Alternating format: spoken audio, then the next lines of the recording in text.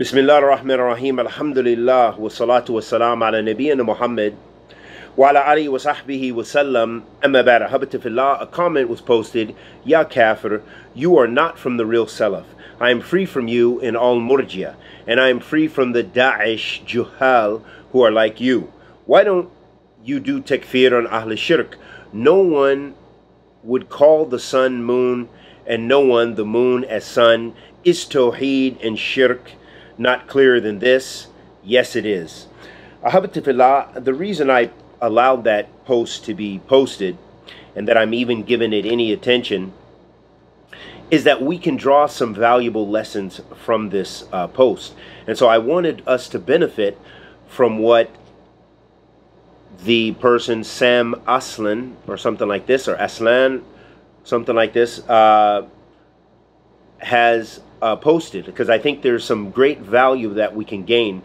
And one of the, just to make it short, one of the important points that we can derive from this comment is we see this is an excellent illustration of the ignorance of uh, uh, regarding the mas'ala, mas'ala to takfir, the issue of takfir, of decreeing a Muslim to be an apostate, which is something reserved for the ulama, and you can see why, because of the complexities of this issue.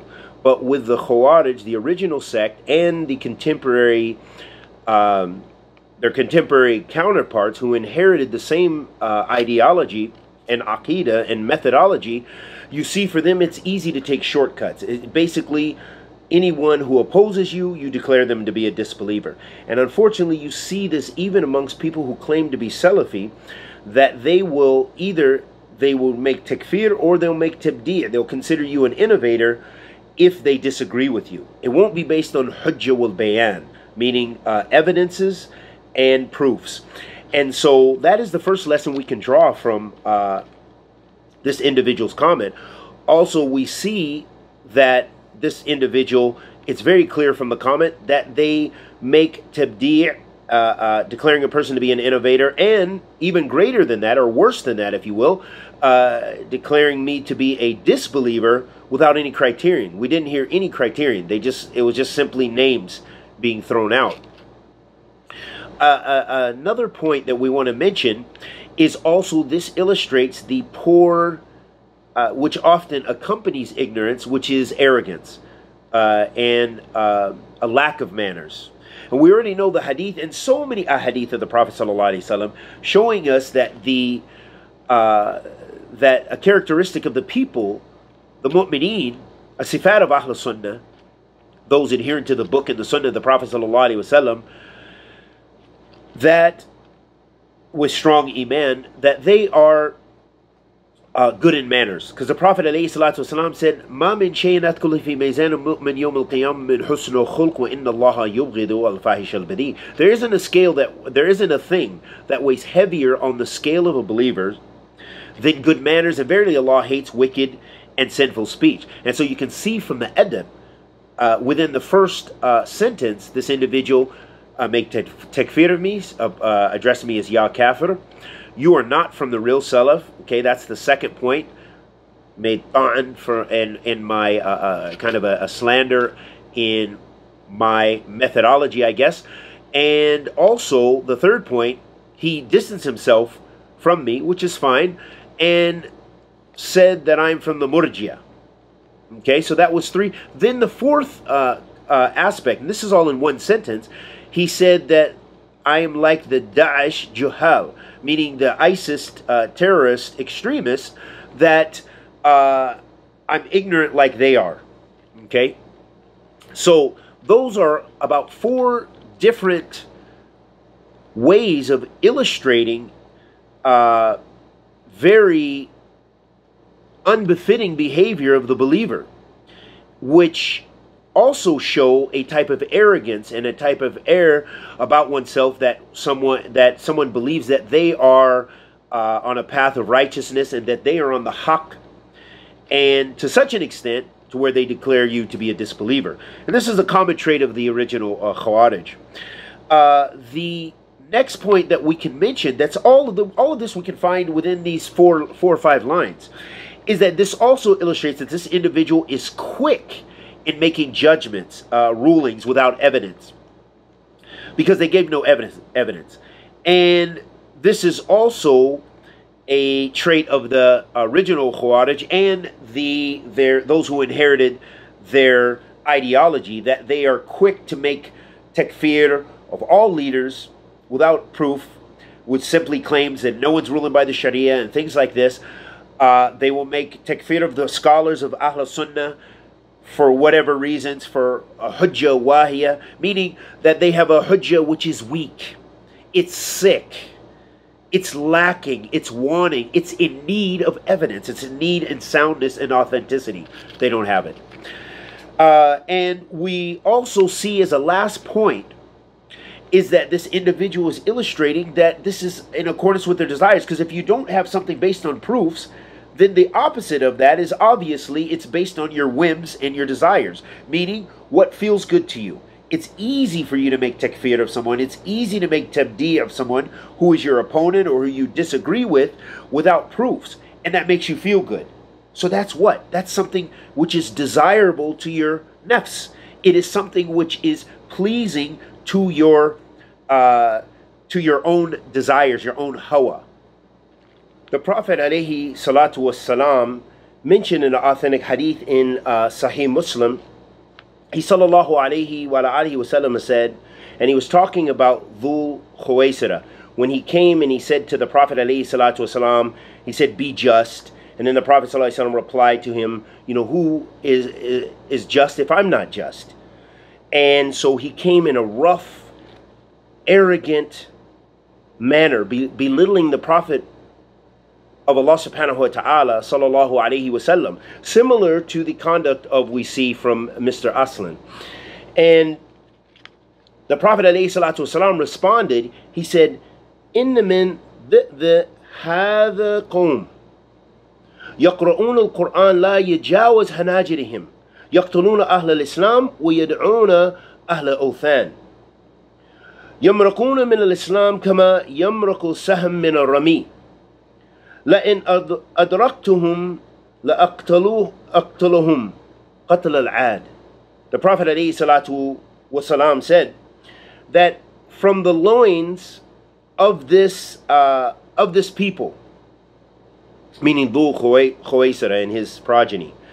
There will be a people who will read the Quran and it will not pass beyond their throats. They kill or fight the people of Islam, the Muslims. And they leave the people of polytheism. They will pass through Islam similar to the way that the arrow passes through its prey. And if you meet them, then you should fight them, similar to the fighting of the people of Ad, you know, the killing of the people of Ad. So showing us that this is a characteristic which is madmum to be of those people who are quick to make takfir, takfir of their opponents, because subhanallah, and this is from the Bab of Faida, I've met so many takfiris that I've known over the years, and so many of them, alhamdulillah, some of them they came to the sunnah of the Prophet and they left their previous uh, methodologies. Some of them, you, you, they usually play ping pong in their minhaj, and some of many of them actually left Islam. That they were the hardest core, staunchest. Some of them they traveled with their wealth and their property. They met individuals in the Taliban. They were convicted of crimes with them. They suffered from America to the UK to sit with Abu Hamza, to sit with uh, uh, Faisal and others and, and some of those guys, some of those same individuals are not even Muslim anymore. They apostate. Because you, this is what the Salaf used to say, that often that extremism, as the Messenger of Allah وسلم, said first, that it leads to, you know, it leads to your breaking. And this is the sifat of the Khawarij. They, as the Prophet والسلام, said, that they يمرقون من الإسلام كما يمرق سهم من الرمي they pass through Islam similar to the way that the arrow passes through its prey. The Prophet ﷺ also said, Al Khawarij kilab nar. The Khawarij, they're the dogs of the hellfire. This is why you don't even want to go near those traits. Those traits, the trait of takfir, leave it. Don't ask, you know, don't get involved in these issues.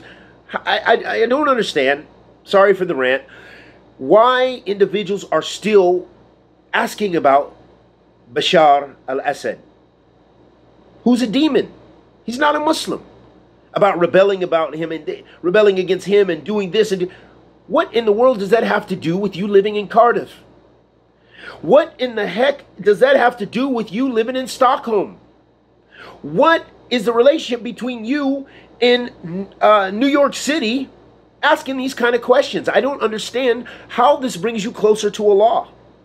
How do you need to get into these kind of masail and you may not even have mastered that which is a requirement of the mubtadi'een, meaning those who are beginners.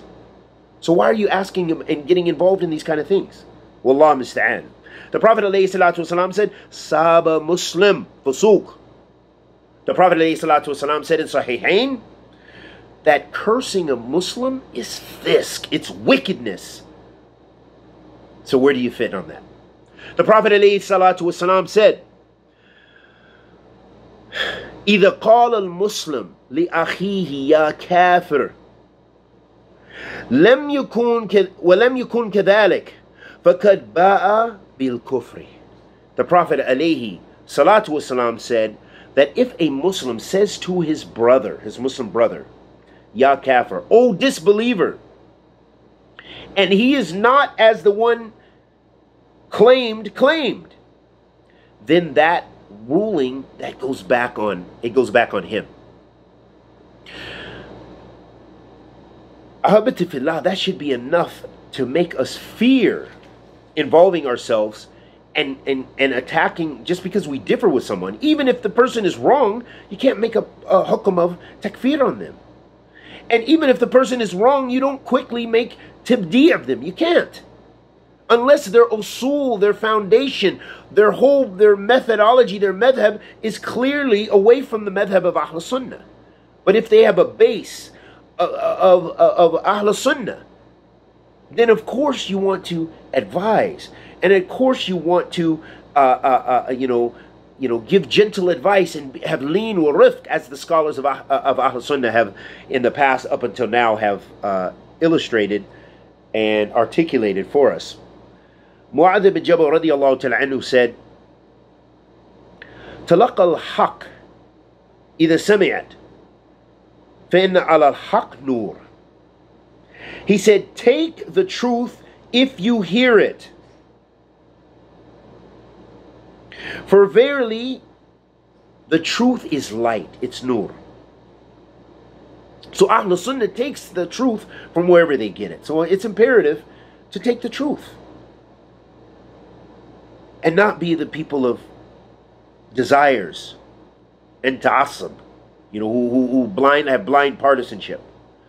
قيل لأبي بكر ابن عياش رحمه الله تعالى من من السني. So it was said to Abi Bakr ibn Iyash rahimahullah ta'ala, who is a Sunni? Basically, who's a Salafi? Who's a Sunni? Who is this? What is the criterion? قال الذي الذي إذا ذكرت الأهواء عنده لم يتعصب لشيء منها. He said, answering, who is a Sunni, he said, he is the one that if desires are mentioned to him, then he does not have blind partisanship to anything. You know, he accepts the truth. And he doesn't follow a madhab based on his desires, As we see from Mr. Sam Aslan.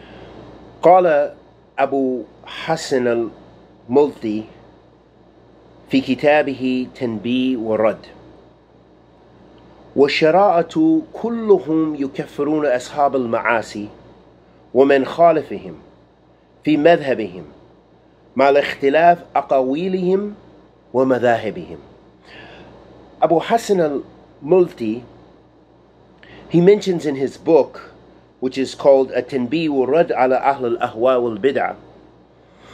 He mentions about the Khawarij and one particular sect of the Khawarij, which in fact is a trait of uh, many of the Khawarij, as he mentioned.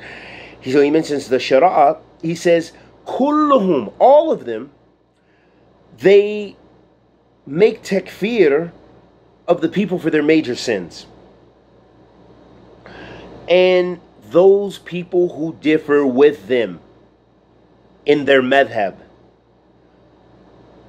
regardless or in relationship to with in in regards to all the various akawil, all the different uh, views and ideologies and and and madhabs and, and other madhabs. Meaning that what we see in, in common with Mr. Aslan is that he, Similar to the original Khawarij, they make takfir of those people who differ with them. Instead of hujjah wa bayan, as we mentioned, it's, it's hawa, it's desires.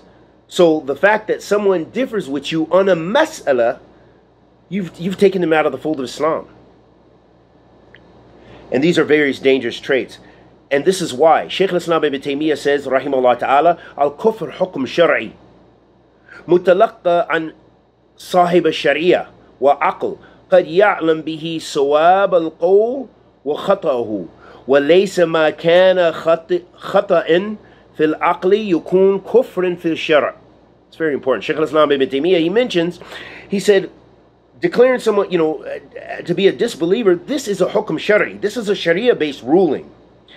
And it is understood by those, by the people of the sharia, meaning Ahl al-Ilm, the people of knowledge and intellect. And that is due to the reason that they know what is a correct statement and what is a mistake. You know, what's an error. And he said, and everything that is a mistake, according to someone's intellect, is not disbelief in accordance with the Shara. So here we have a situation where Mr. Aslan is made takfir based on his limited understanding, with no hujjah, no bayan, no proof. Again, that's his akhl, his intellect, but not in accordance to the shara. It's a very dangerous uh, thing to involve yourself in. Make tawbah to Allah subhanahu wa ta'ala. Imam uh, bin Uthaymeen rahimahullah ta'ala will end with this statement.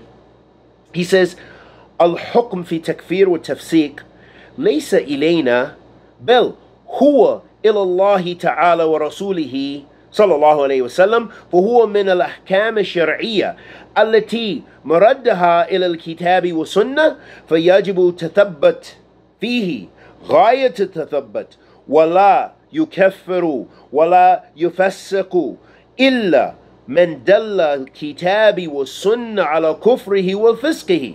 والأصل في المسلم الظاهر العدالة بقاء إسلامه وبقاء عدالته حتى يتحقق زوال ذلك عنه بمقتضى الدليل الشرعي ولا يجوز التساهل في تكفيره أو تفسيقه وهذا باب قد غلط فيه الخوارج غلطا عظيما This is a beautiful statement and we're ending it right here. Imam bin Uthaymeen, he said, rahimahullah ta'ala, he said, حكم في تكفير. He said the ruling of takfir and tafsik, you know, declaring someone to be a wicked sinner, and also likewise tabdi' of declaring someone to be a mubtadi'ah. This is not for us. Rather, it is for Allah, the Almighty, and His Messenger, sallallahu alaihi wasallam. Because this is from the Sharia rulings, which must be returned back to the book in the Sunnah. And it is an obligation to make tathabbat, you know, to affirm something, to make sure of something, to check and make sure of something. In the most in the most complete manners of, of affirming something and checking something and do not make uh, declare someone to be a disbeliever or a wicked sinner except from what the Quran and the Sunnah shows as far as someone uh, as far as this person's disbelief and as far as this person's uh, wickedness. And the asl the origin of the Muslim of Zahir you know that's apparent is that he is just a zahir of al-adala, the origin of a Muslim, which is uh, in his appearance that he's uh, um, you know he's trustworthy, he's a, has a adala. That is the is the baqa Islami is that Islam his Islam remains intact, meaning you can't remove Islam by doubt. And this goes back to al yaqeen la yazul yaqeen bi shak or la or shak la yazul yaqeen that you cannot remove something with certainty based on doubt. And we'll talk about that really quickly. Well, baqa adalati, so his uh, his uh, trustworthiness remains until it has been completely affirmed that it has been removed by what the evidence from the Sharia necessitates, not your desires. And it is not permissible to be easy in these rulings, to be easy in making takfir of him, or tafsik of him, declaring him to wicked, to be wicked. And this, in this issue, the Khawarij, they made severe mistakes. Okay, a point I want to mention, as Imam bin Uthaymeen, as he's a faqih, he mentions a beautiful fiqh principle right in there. And so we're going to emphasize that, is that, as we mentioned, uh, al-yaqeen, la yuzul yaqeen bishak. So when it comes to the adala of a Muslim, when it comes to the trustworthiness of a Muslim, we see a brother at the masjid, we see a sister at the masjid, or one teaching, or whatever the case is. We hold them to be a Muslim. We believe they're a Muslim. We don't doubt and then they have to affirm their Islam. No, he's given the khutbah, he, he's a Muslim, unless something shows, which is clear and clearly evidence, and someone from knowledge makes this ruling, and they tatabbaq, you know, they they they they put the uh, apply the principles of the wabit takfir, the criterion for takfir upon this ma'ayin, because this is the difference between takfir and ma'ayin and takfir mutlaq, and we talked about this before, we're not going to talk about it now. And so that person's Islam remains, as bin Uthaymeen mentions. These are Qawaid Sharia. These are Sharia based principles, not Takfiri based principles, not Kufri based principles, not Hawa based principles, not Mubtadi'ah based principles. These are the principles of Ahlul Sunnati wal Jama'ah. So that their Islam stays in place until there is evidence to show, clear evidence, and, and all those criteria as we mentioned, to remove their Islam. And that's what we mean by the doubt. So if you have doubt about someone's Islam, that doesn't remove their Islam. You know, they're they're a Muslim. I don't know if I can pray behind him. I don't know. I'm not sure. of No. The asal is you can pray behind him because he's a Muslim. The asal is he's, he's a Muslim and you treat him as a Muslim. Until you need some evidence. You can't just say, no, I think they're extreme Sufis who worship the grave. I'm not going to pray in their masjid. No. Maybe they are Sufis. But you cannot remove their Islam based on your doubt, if you understand what I'm saying. So I hope this is clear, and we ask that Allah subhanahu wa ta'ala uh, guides us and guides this individual and makes this a source of guidance. May Allah forgive us all, and I free my heart from uh, any hatred toward this individual, uh, and I, I forgive him, and I hope that Allah subhanahu wa ta'ala guides him. And that's it. Wa sallallahu wa sallam ala Muhammad.